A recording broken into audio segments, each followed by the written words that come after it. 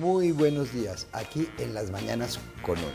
Un nuevo programa que vamos a disfrutar todos en familia.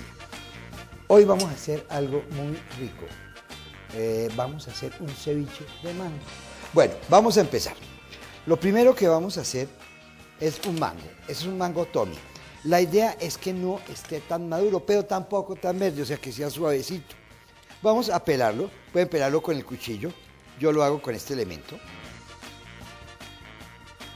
El mango, como ven, está perfectamente pelado.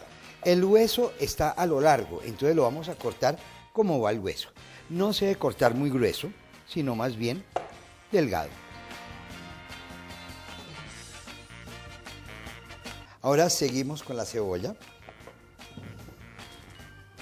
Es muy sencillo, vamos a cortarle las dos partes, la parte de adelante y la de atrás.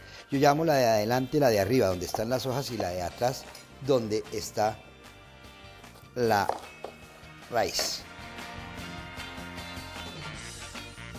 El perejil solo se utiliza la punta, lo demás es amargo, el tallo es amargo. Entonces vamos a quitar las puntas del perejil.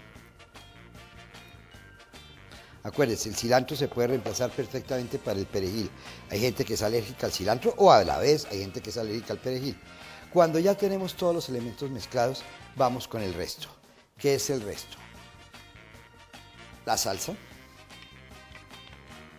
Salsa de tomate, no pasta, salsa, la que es dulzona, la que utilizan para las papas. Y brandy o ron, cualquiera de los dos elementos. ¿Qué nos falta solamente? Los limones. El limón es indispensable. Todo ceviche debe llevar cebolla y limón. Son las dos cosas. Si uno quiere picante, en este caso vamos a echarle, en vez de un picante fuerte, vamos a echarle bastante pimienta, pero pueden usar ajís de cualquier tipo.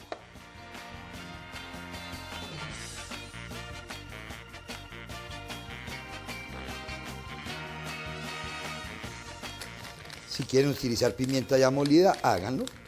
Necesitarán un poco más porque es muy fino, pero el sabor sí es muy bueno de la pimienta.